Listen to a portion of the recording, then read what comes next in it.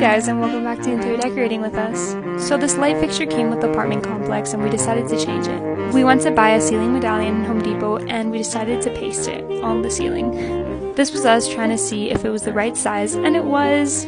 So we bought this adhesive glue that the instructions told us to buy and sadly it did not work but yeah figure that out a little later. So we decided to just drill some stuff inside, and this is me watching them. And whoa, you guys, look at how that turned out. A complete transformation, especially for the vibe we're trying to go for. That lamp that was there before did not fit the vibe. What do you guys think? Also, we found this beautiful vintage credenza on Facebook Marketplace for 150 and holy. This is what it's looking like. Come back tomorrow.